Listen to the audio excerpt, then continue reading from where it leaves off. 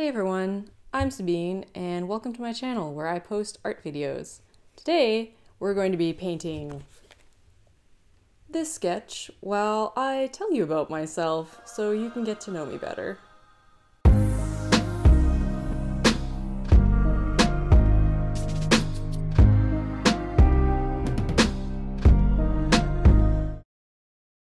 Well, this is going to be awkward because I hate talking about myself.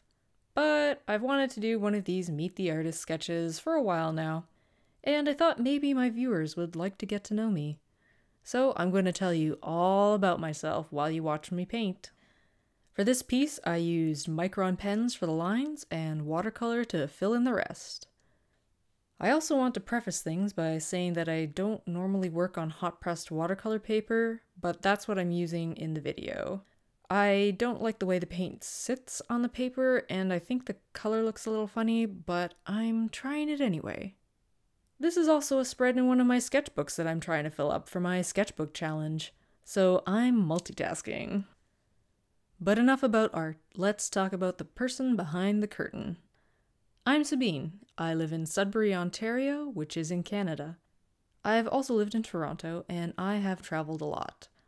The first fun fact about me is that I've been to five out of seven of the world's continents. You can try guessing which ones I haven't been to yet. I want to visit all seven at some point in my life. There's just so many places I want to travel.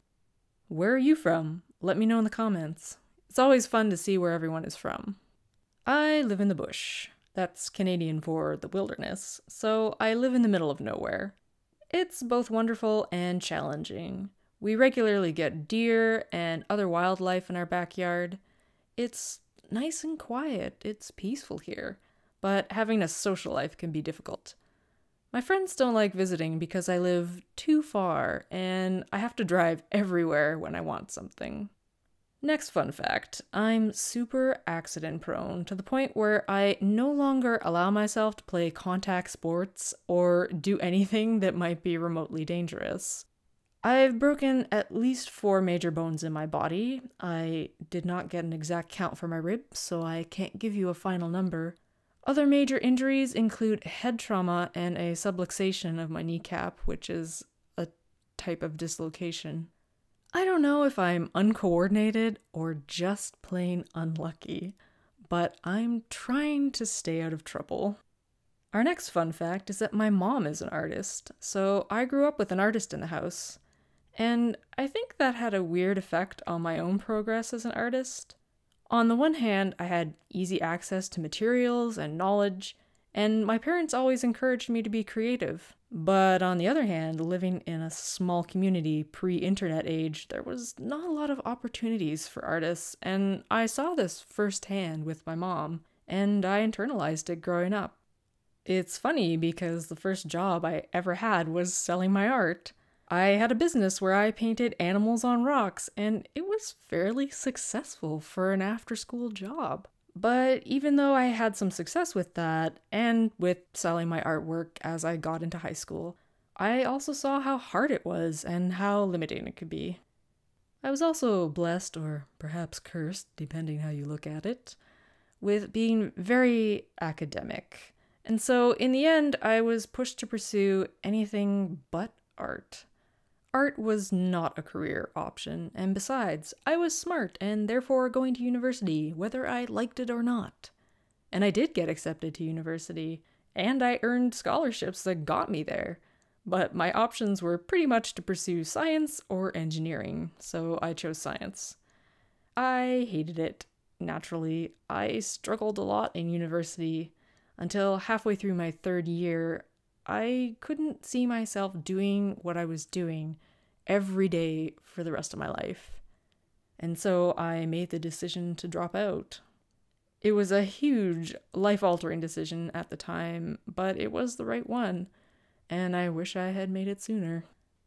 I didn't know what I was going to do after that, but I got the idea to go to school for graphic design.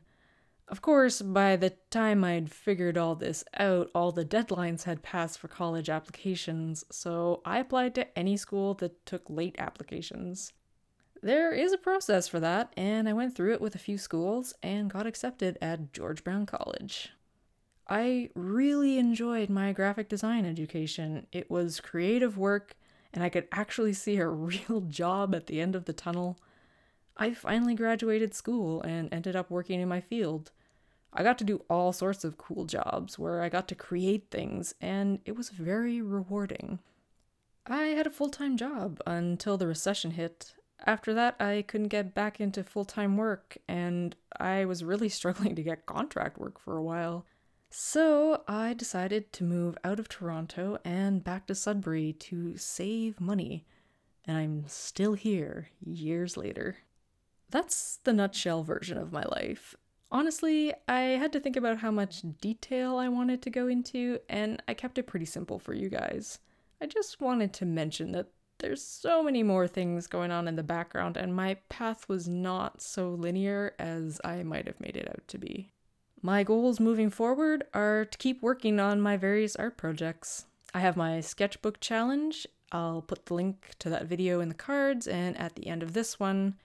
And I'm also working on a comic as well. I'm also excited about YouTube. I'm having fun making videos. And I think I've finally got things figured out now, so I'm hoping to have a more regular upload schedule. I'm aiming to upload every Friday. So if you want to follow along, please subscribe, and if you hit that little bell icon beside the subscribe button, you'll get notifications when my new videos go up. I hope you enjoyed this video and that it wasn't intensely boring like I'm afraid it is. If you did like it, then hit the like button and we'll see how many people actually enjoyed listening to me talk about myself.